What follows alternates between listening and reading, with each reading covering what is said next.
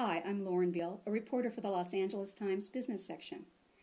Home sales last year dropped by 9% across California, but in the $1 million and up category, they increased by 21%. Why is that, you might ask? Well, for starters, let me say the rich are not like you and me.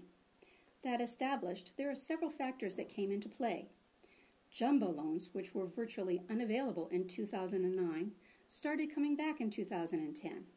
And the stock market made a comeback too, and investors' equity returned. Yes, the rich got richer. But prices played an important role too. Those trying to time the market decided that before prices turned back up, now was a good time to buy. And real estate experts agree that prices are now at about the bottom.